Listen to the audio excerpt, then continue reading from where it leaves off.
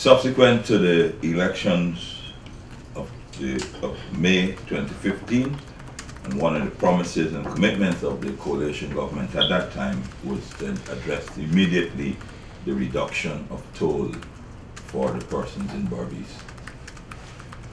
We would have, I as minister responsible for public infrastructure would have written to the Berbice Bridge Work Company Inc.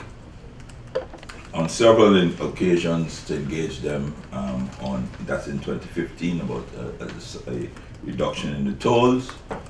Um, as you noticed, it was a long protracted uh, negotiation.